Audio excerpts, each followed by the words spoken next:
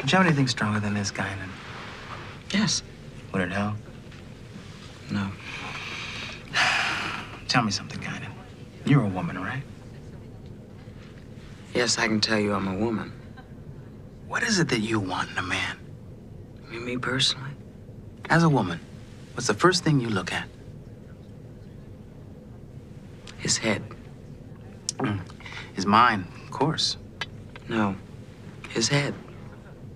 I'm attracted to bald men. Seriously? Seriously. Why? Maybe because a bald man was kind to me once. When I was hurting. Took care of me. Hmm. I'd like to do that. Well, I take care of myself these days. I mean, take care of somebody.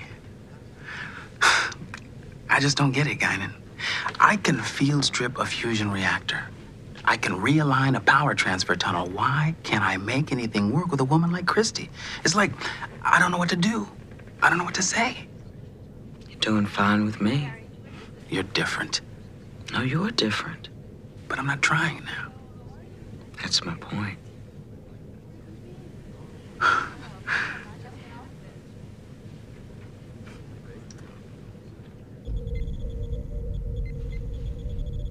What is it, Wes? The main power return is acting a little weird. Define weird. I'm getting fluctuating waveguide readings. Run a maintenance sweep. Right. Activating power pack, Captain.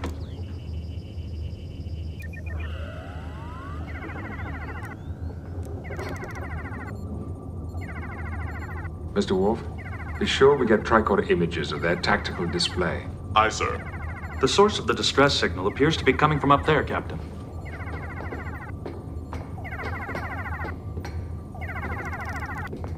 Let's put an end to their last cry for help.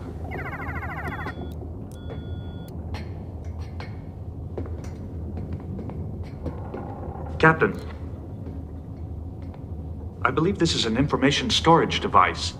A crude analog of our own isolinear optical chip. Crude by our standards today, Data. But when this ship was built, humans on Earth were just perfecting the mechanical clock, still using steel crossbows in battle. Is there any way to see what's on this? Questionable, sir.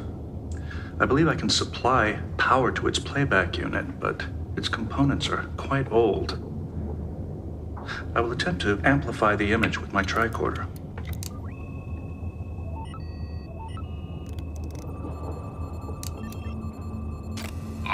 Galek Sar, captain of the Promellian cruiser Cleponji. I wish anyone who finds this record to know my crew has behaved courageously.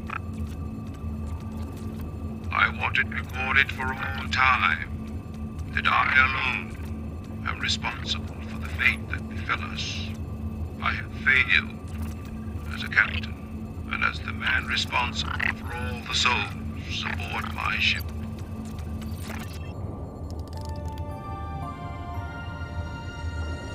Picard to Enterprise. Go ahead, Captain. I think we have seen all there is to see here. At Mr. O'Brien's leisure, we're ready to return. Aye, sir.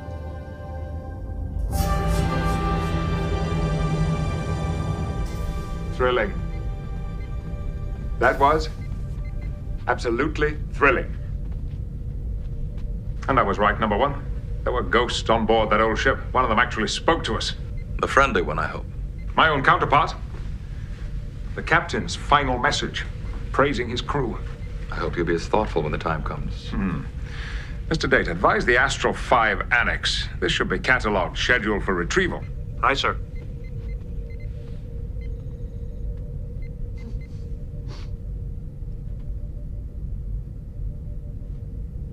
I'm sorry, Captain. It's just a rare pleasure to see this side of your personality.